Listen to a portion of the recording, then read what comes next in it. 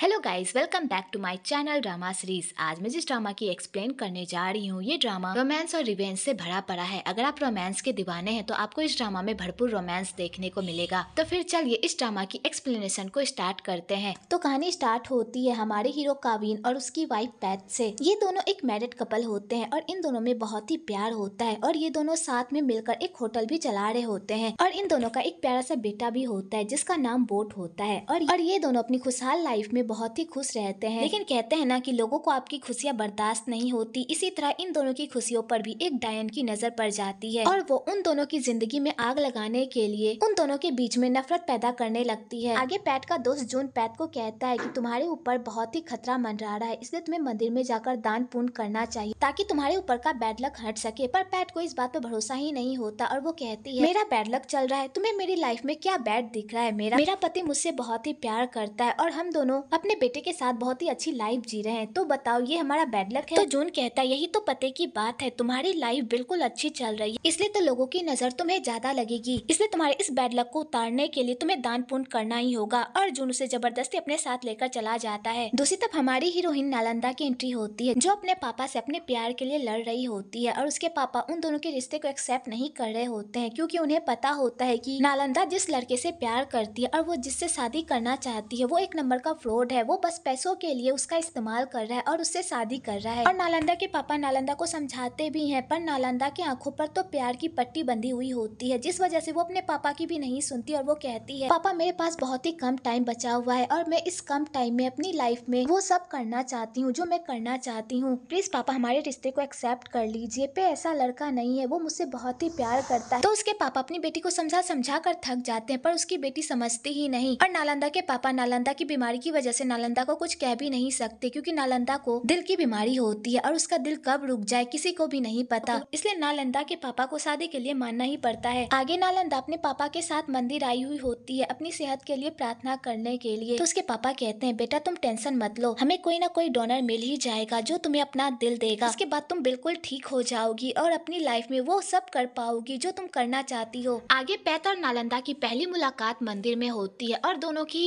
रूह भगवान के सामने एक दूसरे से कनेक्ट हो जाती है। पर ये बात उन दोनों को पता नहीं चलती और वो दोनों एक दूसरे को इग्नोर करके वहाँ से चले जाते हैं। आगे वो दोनों सारे मंदिर में प्रणाम करते हैं, दान पुण्य करते हैं और उसके बाद वो दोनों अपना भविष्य पता लगाने के लिए जाते हैं। तो उन दोनों का नंबर एक ही आता है, वो भी छह नंबर आगे जब वो लोग सिक्स नंबर की भविष्यवाणी पढ़ने के लिए जाते हैं तो उसमें ये लिखा हुआ होता है की वो लोग पहले मरने वाले हैं और उसके बाद उन्हें एक नया जीवन मिलेगा और उन्हें अपने नए जीवन का मकसद ढूंढना होगा की आखिरकार उन्हें ये नया जन्म क्यूँ मिला है। तो वो दोनों जैसे ये सारी बातें सुनते हैं, वो तो पूरी तरह सॉक्ट हो जाते हैं, पर वो लोग इस बात पर ज़्यादा ध्यान ही नहीं देते क्योंकि उन्हें इनका मतलब ही समझ में नहीं आता। दूसरी तरफ़ वो नागिन पैत और काविन के रिश्ते में दरार डालने के लिए एक लड़की हायर करती है और उसे वो काविन के पीछे लगा देती है। तो वो लड़की जानबूझकर काविन के ऊपर गिर जाती है और उसके सर पर लिपस्टिक का मार्क लगा देती है ताकि जब उसकी वाइफ देखे तो उन दोनों के बीच बहुत बड़ा झगड़ा हो और उसकी वाइफ उसे छोड़कर चली जाए। और वो नागिन ये सारा प्लान बनाकर अंदर ही अंदर बहुत ही खुश हो रही होती है। आगे काविन घर आता है और अपनी फैमिली के साथ टाइम स्पेंड कर रहा होता है कि तभी पैट की नज़र काविन के टी शर्ट पर लगी उसी लिपस्टिक के मार्क पर पड़ती है, जिसे देखकर तो वो पूरी तरह सॉक्ट हो जाती है और वो काविन से पूछती है कि ये सब क्या चल रहा है? तुम्हारा बाहर अफेयर चल रहा है। तुम मुझे धोखा दे रहे हो। तुम मेरे साथ ऐसा कैसे कर सकते हो? तो काविन उसे समझाता है कि मैं ऐसा कुछ भी नहीं कर रहा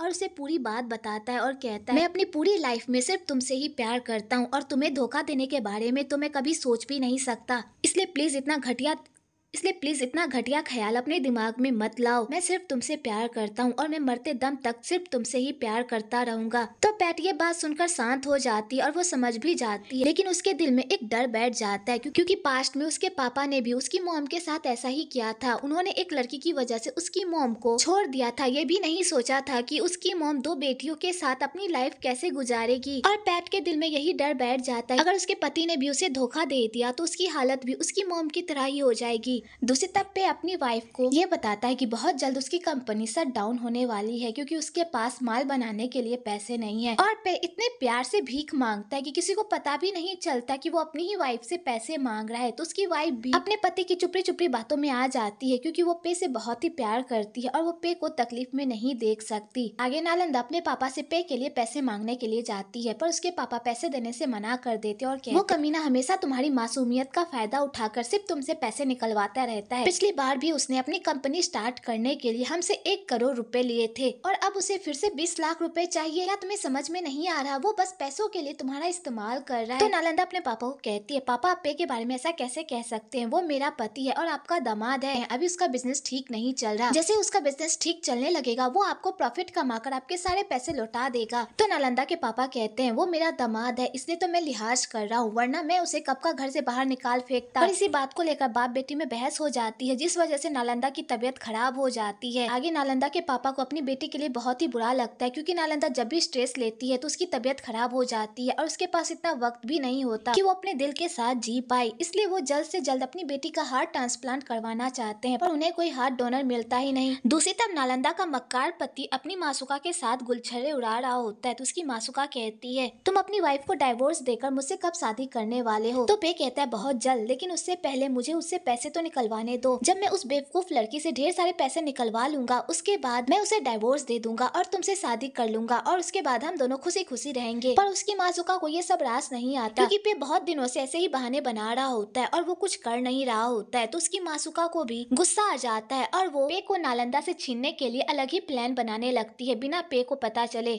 आगे नालंदा का पति देर रात घर आता है तो नालंदा के पापा पे को कहते हैं, तुम अपनी औकात पर आ ही गए ना। तुमने सिर्फ़ पैसों के लिए मेरी बेटी से शादी की और तुम उसके भोलेपन का फ़ायदा भी उठा रहे हो और यहाँ पर नालंदा के पापा पे की क्लास लगा ही रहे होते हैं कि तभी उधर से नालंदा आ जाती है और अपने पापा को कहती है, पापा प्लीज़ आप मेरे मामले में मत बोलिए। मेरा पति इतना भी बुरा नहीं है जितना आप उसे समझते हैं, वो मुझसे बहुत प्यार करता है। अगर हम आपसे थोड़े पैसे मांग ही रहे हैं तो क्या हो गया? हम आपको वापस लौटा देंगे ना? और नालंदा अपने पापा के सामने अपने मक्कार पति की साइड लेती है और उसे वहाँ से लेकर चली जाती है। तो नालंदा के पापा को अपनी बेटे के लिए बहुत बुरा लगता है क्योंकि उन्हें पता होता है कि उसका पति एक नंबर का घटिया इंसान है। पर वो ये जानते हुए भी कुछ नहीं कर सकते, क्योंकि उसकी बेटी उस घटिया इंसान से प्यार करती और वो चाहकर भी अपनी बेटी का दिल नहीं दुखा सकती। अगले दिन वो नागिन काविन और पैट के रिश्ते में जहर घोलने का एक सॉलिड प्लान बनाती है और अपनी दोस्त को अपने ही ऑफ़िस में सेल पर्सन की नौकरी दिलवा देती है। और उसके बाद किसी बहाने से वो उसे काविन के साथ भी भेज देती है पूरा होटल घूमने के लिए। और वो ये सारा कारनामा करके सीधा पेट के पास जाती है और उसके दिमाग में ये बात डालती है कि उसकी दोस्त एक नंबर की चालू लड़की है। जब भी वो कोई हैंडसम बंदा देखती है, वो उसके साथ फ्लर्ट करने लगती है। तो पेट जैसे ये बात सुनती है, वो तो पूरी तरह सॉक्ट हो जाती है और वो अपने पति को ढूँढने के लिए होटल के चारों चक्कर काटने लगती है। दूसरी तप्पे की मासूका भी पे और नालंदा का रिश्ता तुरवाने के लिए नालंदा को उसके और पे के अफेयर के बारे में बता देती है। तो नालंदा जैसे ये सब सुनती है, उसे तो इस बात पर बिलीव ही नहीं होता। तो पे की मासूका कहती है, अगर तुम्हें इस बात पर बिलीव नहीं हो रहा तो आकर होटल में खुद देख लो कि तुम्हारा पति मेरे साथ रंग रलियाँ मना रहा है।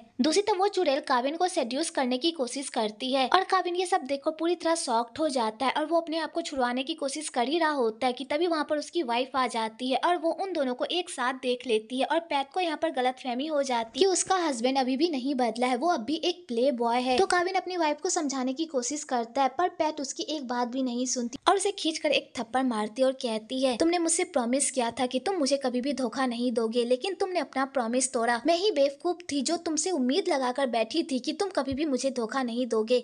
ये जानते हुए कि तुम पहले एक प्ले बॉय हुआ करते थे। तो काविन अपनी वाइफ को समझाने की बहुत कोशिश करता है कि जैसा उसने देखा, वैसा उन दोनों के बीच कुछ भी नहीं हुआ, पर उसकी वाइफ उसकी एक बात भी नहीं सुनती और वहाँ से चली जाती है। तो काविन भी उसके पीछे पीछे जाता है और उसे कॉल भी लगाता है, पर पैट उसका कॉल नहीं उठाती और पागलों की तरह रोती है। इधर वो नागिन उस चुड़ैल के साथ ये सारा कारनामा करके बहुत ही खुश हो रही होती है की अब तो उन दोनों का रिश्ता टूट कर ही रहेगा। तो नालंदा भी अपने पति की करतूतों को देखने के लिए होटल पहुँच जाती है तो वहाँ जाकर उसे पता चलता है की उसका पति सच में उसे चीट कर रहा है और वो अपनी मासूका के साथ गुलछर्रे उड़ा रहा है। तो नालंदा का ये सब देखकर तो दिल ही टूट जाता है और इसी सदमे की वजह से उसकी तबीयत खराब हो जाती है। तो पे नालंदा की ऐसी हालत देखकर तो पूरी तरह सॉफ्ट हो जाता है और वो उसे हॉस्पिटल लेकर जाता है और इधर पे की माँ सुका ये सब करके बहुत ही खुश हो रही होती है और वो भगवान से दुआ कर रही होती है कि नालंदा मर जाए। दूसरी तब पैट का एक्सीडेंट हो जाता है तो काबिन अपनी वाइफ की ऐसी हालत देखकर तो पूरी तरह सॉफ्ट हो जाता है। तो पैट कहती है अगर मुझे कुछ हो जाए तो प्लीज़ हमारे बेटे बोट का बहुत ही अच्छे से ख्याल रखना उसे प्यार देना। तो काबिन कहता है तुम ऐसी बातें क्यों कर रही हो? तुम्हें कुछ भी नहीं होगा। हम तीनों साथ रहेंगे। तुम्हारे बिना हमारी फैमिली अधूरी है। तुम्हें कुछ भी नहीं हो सकता। तुम हमें इस तरह छोड़कर नहीं जा सकती। समझी? दूसरी तरफ़ नालंदा की तबीयत बहुत ही खराब हो जाती है। और अगर अगर अभी उसका हार्ट ट्रांसप्लांट नहीं हुआ तो वो मर भी सकती है। तो नालंदा के पापा अपनी बेटी की ऐसी हालत देखकर पूरी तरह सॉफ्ट हो जाते हैं कि तभी उधर से एक नर्स आती है और बताती है कि एक पेशेंट आया जिसकी हालत बहुत ही खराब तो नालंदा के पापा पैट को देखने के लिए जाते हैं। जब वो उसकी कंडीशन को देखते हैं तो वो बताते हैं कि हम इस पर ऑपरेट नहीं कर सकते क्योंकि इसके दिमाग में बहुत ज़्यादा खून जमा हो गया है और ऊपर से इसका ब्रेन भी डेड हो गया है। अब इस पेशेंट की बचने की कोई उम्मीद नहीं है कि तभी उधर से एक नर्स आती है और नालंदा के पापा को बताती है कि उनकी बेटी की हालत बहुत ही खराब हो गई है। तो नालंदा के पापा अपनी बेटी को बचाने के लिए पैट के दिल का इस्तेमाल करते हैं, क्योंकि अब पैट मर चुकी होती है और पैट का दिल नालंदा की जान बचा सकता है। आगे नालंदा के पापा काबिन को जाकर बता देते हैं कि उसकी वाइफ अब इस दुनिया में नहीं रही। तो काबिन ये बात सुनकर तो पूरी तरह सदमे में चला जाता है। उसके बाद नालंदा के पापा बिना काबिन के इजाज़त के उसकी वाइफ का दिल निकाल कर अपनी बेटी को लगा देते हैं और इस बारे में किसी को कानो कान भनक भी नहीं लगती। इधर काबिन अपनी वाइफ के जाने का गम बर्दाश्त नहीं कर पाता और वो पागलों की तरह रो रहा होता है और दूसरी तरफ़ काबिन की वाइफ का दिल नालंदा के जिस्म में धड़क रहा होता है। आगे काबिन अपनी साली को कॉल करके बता देता है कि अब उसकी बहन इस दुनिया में नहीं रही। तो वादी जैसे ये सुनती है, उसके पैरों तले तो ज़मीन ही खिसक जाती है और वो फूट फूट कर रोने लगती है।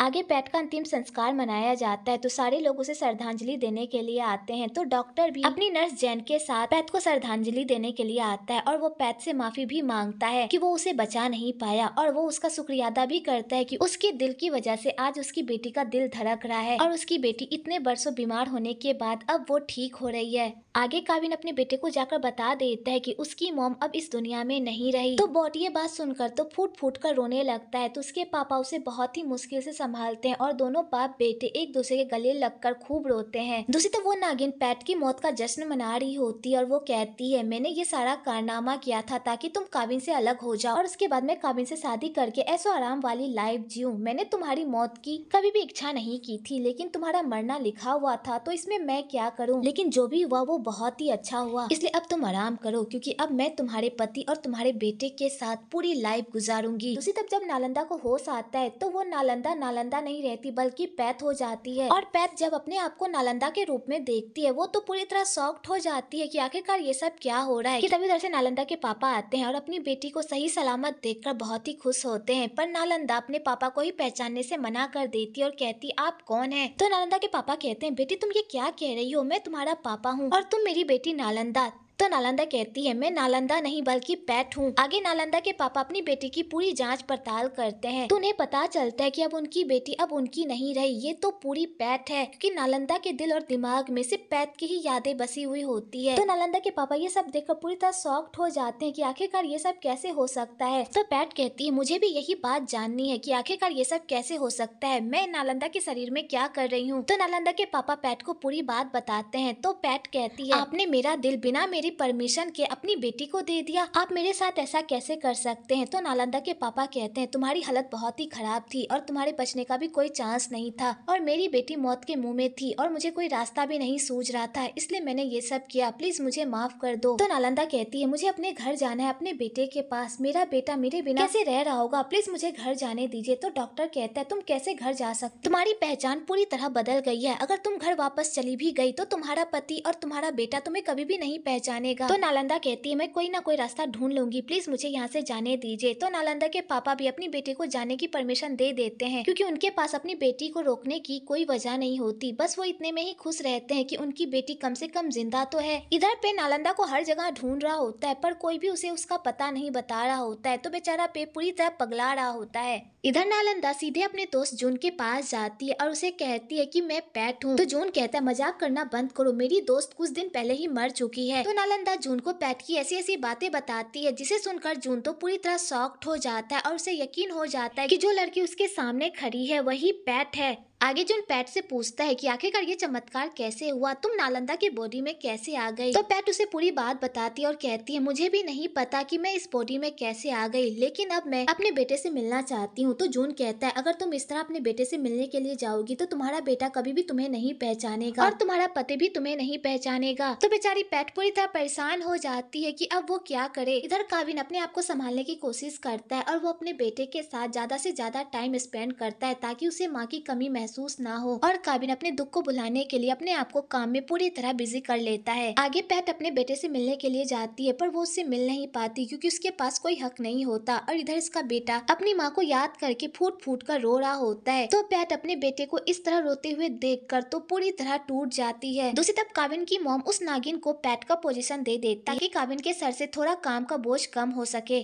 तो वो नागिन ये सब देखकर बहुत ही खुश हो जाती है। अगले दिन वो नागिन पैट की तरह तैयार होकर ऑफ़िस आती है और वो काविन को सेड्यूस करने की कोशिश करती है और कहती है अब पैट यहाँ पर नहीं है तो तुम मुझे किसी भी काम के लिए बेहिचक बुला सकते हो। मैं तुम्हारा सारा काम कर दूँगी। तो काविन कहता है इसकी कोई ज़रूरत नहीं है बस तुम अपने काम पर ध्यान रखो। और काविन ये कहकर वहाँ से चला जाता है। तो बेचारी नागिन का ये सब सुनकर तो खून ही खोलने लगता है। इधर पैट को अपने बेटे की हालत बर्दाश्त नहीं होती और वो अपने बेटे से मिलने के लिए जाने लगती है और वो कहती है मैं जाकर सबको सच बता दूँगी। तो जून कहता है अगर तुम जाकर सबको सच भी बता दोगी तो कोई भी तुम्हारी बात पर बिलीव नहीं करेगा। तो पैट कहती है, तुम क्या चाहते हो कि मैं इसी तरह हाथ पर हाथ धरे बैठी रहूँ और अपने बेटे को तड़पते देखती रहूँ? तो जून कहता है, मैं जानता हूँ तुम बहुत ही तकलीफ़ में हो, लेकिन अगर इस तरह तुम जज्बात में आकर कोई फैसला ले लोगी तो बाद में तुम्हें ही पछताना होगा।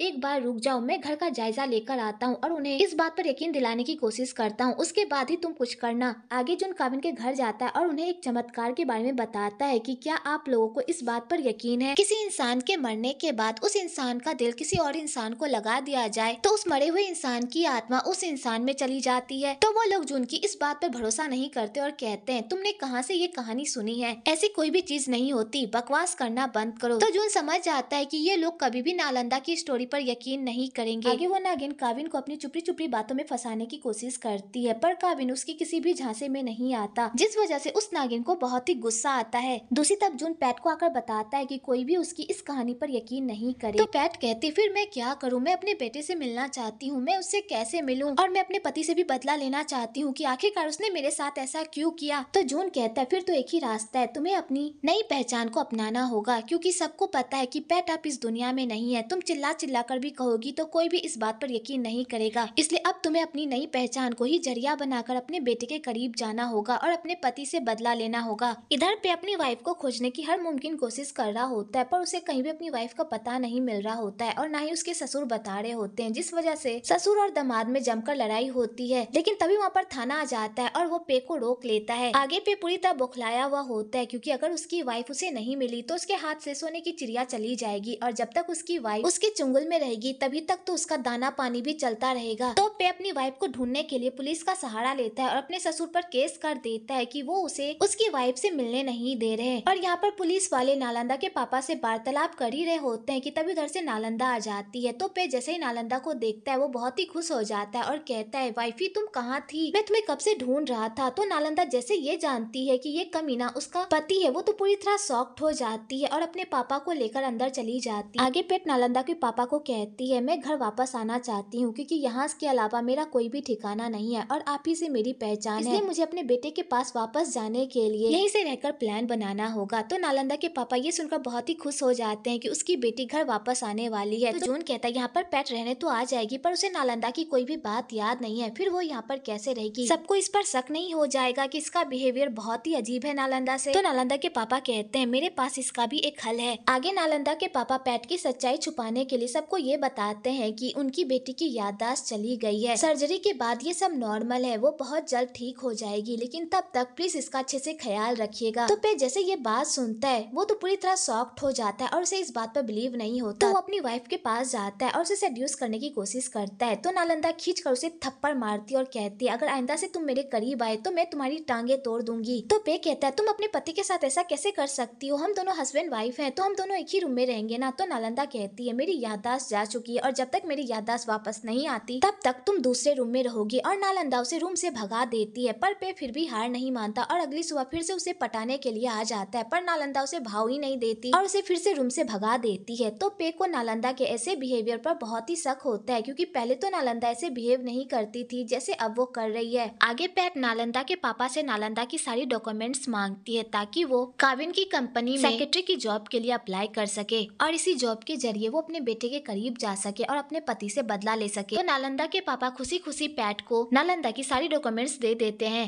अगले दिन नालंदा की मुलाकात काविन से होती है तो काविन उसे देखकर नहीं पहचानता और उसे इग्नोर करके वहाँ से चला जाता है। तो नालंदा भी काविन का पीछा करती है। तो केक शॉप पर एक लड़की काविन पर लाइन मारने लगती है तो काविन उसे बताता है कि वो शादीशुदा है और वो अपनी वाइफ से बहुत प्यार करता है, इसलिए वो ट्राई ना करे। तो नालंदा को ये सब देखकर बहुत ही गुस्सा आता है, क्योंकि उसे लगता है कि उसका पति नाटक कर रहा है। कि वो एक लॉयल इंसान है, जो सिर्फ़ अपनी वाइफ से ही प्यार करता है। आगे काबिन अपने एक क्लाइंट से मिलने के लिए जाता है तो वो क्लाइंट भी काबिन पर डोरे डालने लगती है और कहती है, अब तुम्हारी वाइफ नहीं है तो क्यों ना हम दोनों? तो काबिन कहता है, मैं अपनी वाइफ से बहुत प्यार करता हूँ और मैं उसे धोखा नहीं दे सकता। तो वो लेडी कहती है, लेकिन अब तो तुम्हारी वाइफ मर चुकी है ना? तो काबिन कहता है, वो भले ही मर चुकी है, लेकिन मेरे दिल में वो अभी भी ज़िंदा है और मैं पूरी ज़िंदगी अपनी वाइफ से ही प्यार करता रहूँगा। तो वो लेडी फिर भी काबिन का पीछा नहीं छोड़ती और उस पर डोरे डालने लगती है। तो पैट को भी ये सब देखकर बहुत ही गुस्सा आ जाता है और वो उस लेडी के पास जाती है और वो कहती है जब ये कह रहा है कि वो अपनी वाइफ से बहुत प्यार करता है और इसकी वाइफ की जगह इसके दिल में कोई और नहीं ले सकता। तो तुम मक्खी की तरह इसके ऊपर भिन भिना क्यों रही हो?